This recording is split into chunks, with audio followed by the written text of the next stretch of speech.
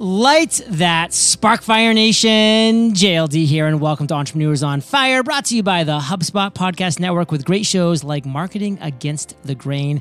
Today, we'll be breaking down how to transform your SMMA into a SaaS agency. To drop these value bombs, I brought to Sam Carlson into EO Fire Studios. Sam has operated an SMMA offering Facebook ads as a service since 2015. Today, he's transformed his service based business into a software as a service model and entirely changing how agencies can make money now. And today, for our Nation we'll talk about how media buyers are pricey and how you can use software to run Facebook ads instead, about how attention is key. We'll talk about how there are over 10,000 local businesses running their own ads without previous experience. How is this possible? We'll talk about SMMA, and so much more. And a big thank you for sponsoring today's episode goes to Sam and our sponsors. Business Made Simple, hosted by Donald Miller, is brought to you by the HubSpot Podcast Network, the audio destination for business professionals. Business Made Simple takes the mystery out of growing your business with episodes like how to get out of your day to day operations without crashing your business. Listen to Business Made Simple wherever you get your podcasts. Sam, say what's up to Fire Nation and share something that you believe about becoming successful that most people disagree with. You know, JLD, thanks for having me, buddy. I'm excited to be here. And uh, the thing that I think there's a there's a saying out there that a lot of people tout and parrot out, and that is "Jack of all trades, master of none." You've heard that? Oh yeah. The real quote there is actually "Jack of all trades, master of none," though often better than master of one. That's the actual original quote. Mm. And the reason I really like that when I first heard that, it rang true to me because what it says is every person can actually become an expert in and of themselves, meaning you, unique person, you are an expert of you. Now, it does, in my opinion, mean that you need to be a jack of all trades, have a lot of uh, knowledge, experience in a lot of things, but go deep in that thing that you were gifted and born to do. So to me, uh, it's encouraging because, you know, some of us just feel like we can't compete, but the only person we're actually competing with is us. If we put in the work and be a better us, we win. I love that, Fire Nation. It's a fantastic start to an episode where we're focusing on transforming your SMMA into a SaaS agency. Now, the acronym SMMA stands for Social Media Marketing Agency. Talk to us about why they are losing clients to new SaaS models.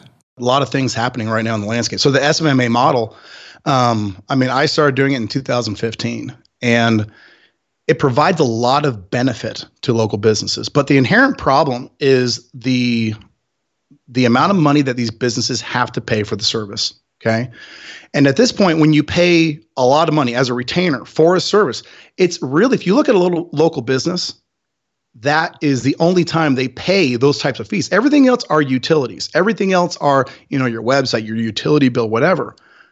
Businesses are not paying these huge retainers for social media marketing. So it's usually the first thing on the chopping block, which makes uh, a lot of these businesses, these SMMA businesses, very vulnerable to, you know, first getting clients as time goes by, and second keeping them. Now, SaaS or software as a service, if it can accomplish the same thing as an SMMA, but do it for a lower price and put the hand put the control of the marketing in the business owner's hands, they win. I mean, hands down, it's not it's not rocket science. If I can do the same thing better for cheaper, I win. Fire Nation, that is a truism that has always existed and that will always exist going forward. But one thing I want to talk about, Sam, is most people use media buyers to run Facebook ads. And one thing that I've experienced personally, and it's just a reality, they're pricey. So you actually believe that we should use software to run Facebook ads instead of these expensive media buyers. Tell us more. There's always a place for people who are really good at things. Okay. But when it comes to local media buying, if you're buying traffic, Facebook ads specifically for local businesses, software, namely UpHex, can actually do that thing, do it better, do it cheaper, and do it perfectly every single time. And, and you said it, uh, John, is SMMA agencies have for a very long time grown to a point where the hey, where they say, hey, we need to hire more people, manage more people, increase our overhead. Well, the media buyer has always been a pinch point because the media buyer needs experience, needs the ability and the education to adapt and move freely, and therefore they're a higher paid position. So media buyers in local businesses, they're just you know, they're too they're too cost prohibitive. It's not like e-commerce where we're talking about budgets into the millions, you know, where they can hey we can hire one media buyer. We can hire hundreds potentially of media buyers. Local businesses don't have that luxury. So uh, you know media buyers uh, they have a place but in the local lead generation uh, marketplace it's it's kind of game over in my opinion.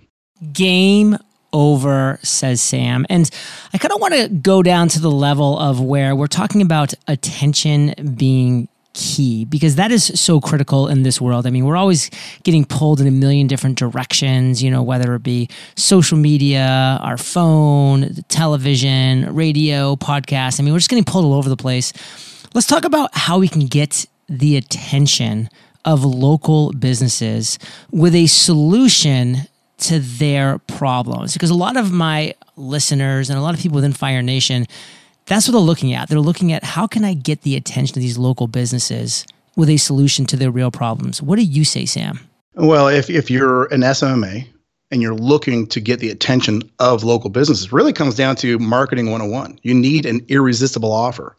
In uh, in sales, we talk about there's a phrase, a tactic known as a tactic blown. Okay, so there was a point in time where the SMMA, mo- SMMA model was unique was you know pretty original. You go to businesses say, "Hey, we're going to run ads on this platform, Facebook, for example. We're going to get you a bunch of leads." That's incredibly attractive. But the more people do it, again, a tactic known is a tactic blown. So you need to adapt with the times. And having an irresistible offer, a big part of that is having a unique mechanism, a unique approach, a, uni- a unique way to position what you do to where the audience is like, well, I have never heard of Facebook ads being able to be run by a software. I haven't heard of that. So if you want the attention, you got to be unique. You have to approach your audience in a way where they haven't heard that before. That's really the big thing is positioning yourself as unique with an irresistible offer, in my opinion. Fire Nation, people will beat a path to the doorstep of the number one solution to their problem. So, how can you identify a unique real problem in this world and offer the best, unique, specialized solution to that problem, then people will find you, then you will win. But guess what? There's ways that we can even ramp that up on top of that once you've identified that first thing. And we'll talk about that when we get back from thanking our sponsors. We all want the same things for our business more leads, faster sales, and better insights so we can serve our customers at the highest level. One thing we all don't want to waste time and money trying to figure these things out. So, what's the solution? A CRM that's easy to set up and customize. Sounds too good to be true, right? But this CRM exists and it's called HubSpot. What sets HubSpot apart is it's easy to use and integrate. Instead of wasting days or even months trying to figure everything out, HubSpot gives you tools like their AI content assistant, which helps you save time on tedious manual tasks tasks right away. Looking to step up your game with email broadcasts and landing pages? HubSpot's drag and drop builder makes it easy to create attention grabbing emails and pages in minutes. And that's only the beginning. HubSpot has 1,300 plus integrations that you can add for customization like you've never seen before. HubSpot CRM's powerful tools will help marketers wow prospects, sales teams lock in deals, and service teams improve response times and overall service. Get started for free at HubSpot.com. That's HubSpot com. Sam, I want to dive right in because we get a lot of talk about, my friend. There are now over 10,000 local businesses running their own ads without any previous experience. How the heck is this even possible? It's a very long story, but we'll just con- we'll just make this as concise as possible. In 2018, my SMMA agency had a published case study by Facebook and we had a lot of interest. We didn't get the interest from our customers. We thought our customers would be like, "Oh my gosh, these guys have all this, you know, a published case study by Facebook. That should be amazing. We should get a bunch of cu- uh, customers." We did not, but we got a lot of interest from other agencies, from other companies, and there was a software development company that said, "Hey, we're working on a project, and we want to do, you know, this particular thing." Long story short, we worked in development with them for about a year, and the the whole idea was media buyers what they're doing when they're actually buying media for local local uh, businesses the buttons they push are incredibly redundant okay? And as an smma guy i knew that when i got a new client i wasn't reinventing the wheel in terms of my ads. I wasn't going and creating brand new ads you know uh, bringing around brand new offers. It was the same things. I knew they worked so why reinvent the wheel and so we got to this point where like we thought, hey, what if we could take it to where we could upload all of our proven ads into this engine. And then with a couple clicks of a button, they would be executed. The orders would be executed, those ads would be pushed out on our clients' uh, ad accounts, and boom, we would be, you know, getting leads for those businesses. And that was the the the idea, and that is the execution. That's what we do today to be able to generate leads. Businesses go in, they don't have to be trained as a media buyer because all they're doing is they're saying, oh, look at this library of proven ads. Click that one. I like that. Here's my daily budget, launch campaign. And boom, the campaign goes. Wow. I mean, Fire Nation, these are the type of processes and strategies you need to be thinking about as you're going forward. And one thing, Sam, that I want to dive into is that you think there's actually a great opportunity to help local businesses get more customers. Let's really dive into some deep, specific examples of these opportunities. Tell us more. Local businesses are, you know, they're great. They're the lifeblood of our economy, first of all. Okay. And I think a lot of agencies, when they get in and in the online space, they really want to go after the, you know, the big e commerce budgets and things like that. But right where you live, there are businesses that need your help. Okay, there's plumbers, there's contractors, there's real estate people. There's you know just throw a dart down the main street in your uh, town, and there are local businesses that need help getting more business. And this is the the core SMMA model, right? Now those businesses they're great at potentially running their business, but I have found over eight years of doing this, the one thing that they're not great at, and it's ironic, is actually getting business, is acquiring new customers. And so we make that our business. When we walk in to their business and we say, hey, Mr. Orthodontist, okay, the lifeblood of your practice is a whole bunch of new braces, uh, you know, new cases. What if I could get you 20 to 30 of those a month? Would you be interested? Boom. Absolutely. There's a really good exchange there. Those are the opportunities that are there and that won't go away. W- whether anything, you know, the economy can go up, can go down. And some businesses locally will close.